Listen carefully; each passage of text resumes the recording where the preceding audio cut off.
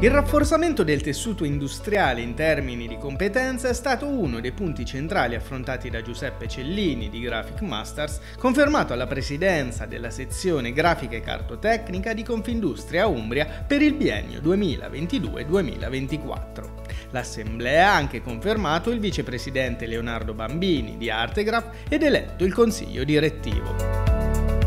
Noi siamo partiti con delle problematiche nel 2020, nel 2021 il nostro settore eh, grafica commerciale è aumentato di un 10%, quasi 20% considerando diciamo, l'effetto dei libri, il fatto di poter restare a casa e quindi hanno acquistato più libri. Il settore cartotecnico, che è un po' il nostro settore, è stato ancora più performante. Nel 2022 siamo ancora in eh, termini migliorativi, perché il problema del 2022 è che non si trovano i materiali, è che non si trovano eh, tutto diciamo, il, il necessario per poter fare produzione.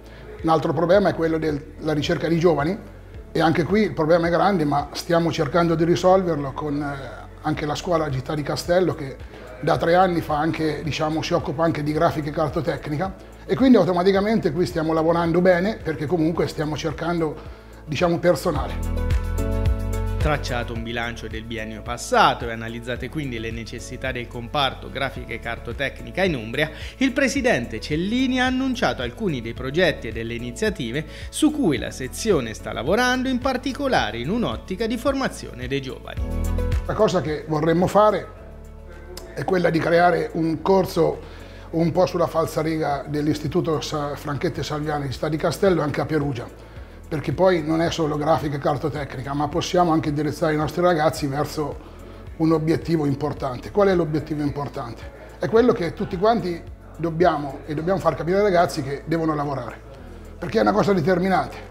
Noi dobbiamo far capire che il lavoro nobilita, che il lavoro è importante e che ti dà un futuro.